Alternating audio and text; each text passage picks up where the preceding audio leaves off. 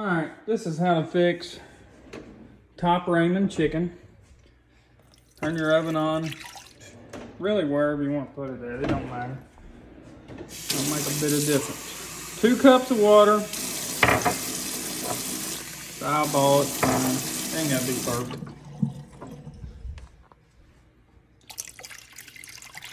Let that come to a boil.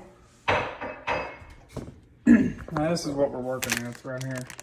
Top Ramen by Nissin. It's original Nissin. Not Liam Neeson, but Nissin. There's instructions on the back of these, but we don't look at those. So we already know once the water gets boiling what to do. Here's a little trick for after. When you're putting your seasoning on, grab it at the top corner, like so. Give that mug a shake right there.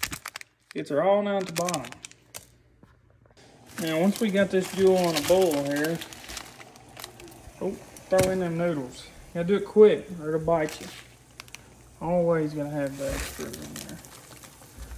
One noodle could change change your whole meal, just to be honest with you. We let this boil, it says three minutes on the package, don't listen to that.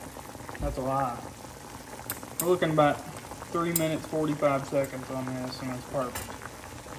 After you've had that in there a minute or five, you're going to grab a whole some noodles.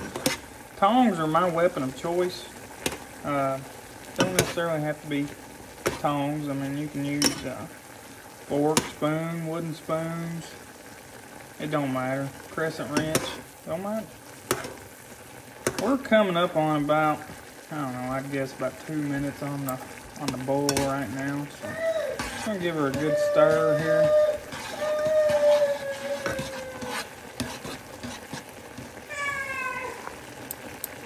Alright, now we're going to shut her down here.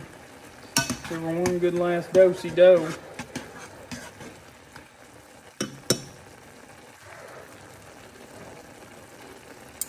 We're going to slide her over to the side here, off your burner. I'm going to grab that good stuff uh, I was talking about earlier, that seasoning. Just going to mess it around in there.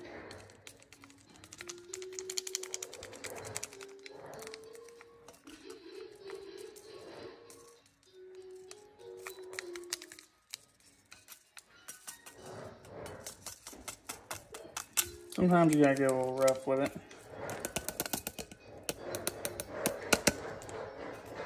Now, you take your weapon of choice. Stir it up real good and nice, Clark. Just watch for flying uh, juice here. Now, this next part's the most important because uh, a lot of people forget about this part, Alright, so now you want to remove your tongs because you're done with them for the night. Unless you're making three or four servings of this. So you got to drain some juice out of it. Not a lot, just a little. Be sure not to lose any noodles. That's precious material there.